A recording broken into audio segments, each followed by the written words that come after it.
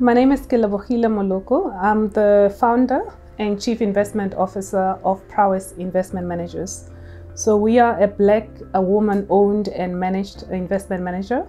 Um, started uh, business around 2009 and we offer investment products to institutional clients and retail clients um, you know across different markets in fixed income equities and private markets um, so i have very uh, deep investment expertise uh, both in fixed income markets uh, developed uh, development and infrastructure uh, solutions, including liability driven investment strategies.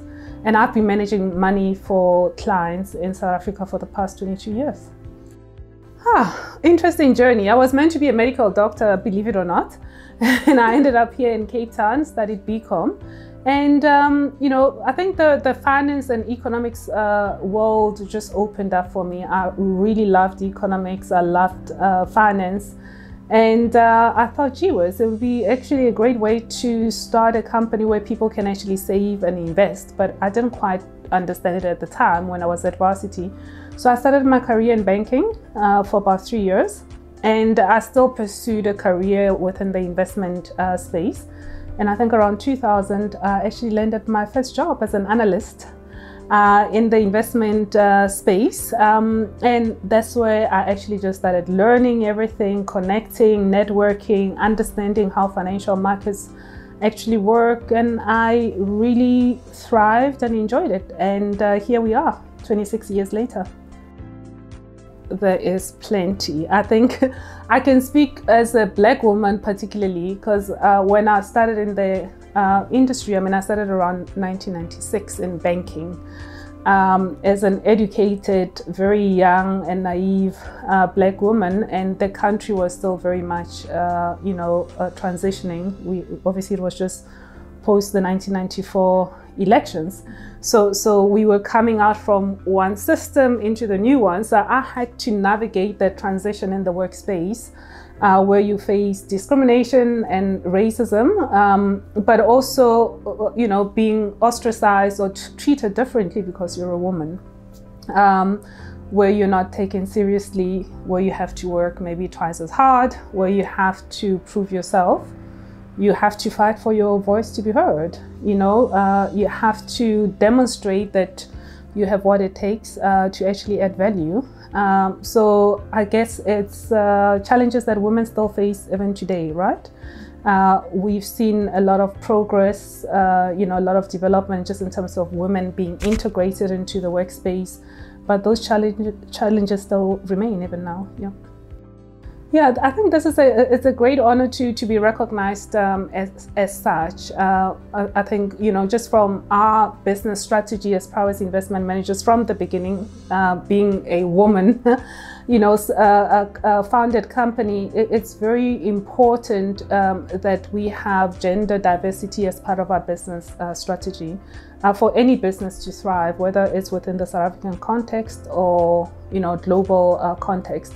So um, I guess it, it, it, gives us that uh, rubber stamp uh, that we we can be counted as uh, change agents um, because we have done it for the last 14 years that the business has been in existence, and we continue to do it. So hopefully. Um, it demonstrates that by actually having women integrated into your business strategy that it adds value you can run a successful business and we can influence others uh, to also uh, follow suit but it's very important to incorporate diversity for your business to actually succeed yeah wow I, you know i think where for me where it starts is for every woman uh, to really take pride in who, who they are and what they offer. You know, it's very important to have uh, that conviction and confidence about who you are. You don't have to be somebody else uh, to be able to succeed or to prove yourself, but just by being yourself, understanding what you bring to the party is very important. And creating a, a space for yourself uh, to, to, to exist and to coexist and to create value, uh, you know, to innovate uh, and to build and also not to be afraid to bring other women along because I think collaboration is very key. It's actually very important you know, and you also can collaborate not only with women but also across uh, gender. you know, it's helped me to understand that as much as I needed this to create the space for me to succeed, that I needed to actually also understand that it's an ecosystem. There, there are you know male counterparts you know, male colleagues and so forth. So collaboration across the board um, is very important. And at the end of it, just shine. You know, wear a pink dress to a meeting and be a girl if you need to be. And um, yeah, don't don't uh, really explain away who you are. Just be present. Let your voice be heard. Yeah, I think, you know, um, it's always quite important to look at where we are, you know, as, as a country. I think we're going through a lot of challenges, um, just both from a personal context, family context, from an economy, politics, or financial markets. Uh, and so forth. So sometimes you get so challenged and we get uh, discouraged just in terms of where to from here. But the one thing that I know we have as South Africans is that we've got the spirit in us, right, to fight.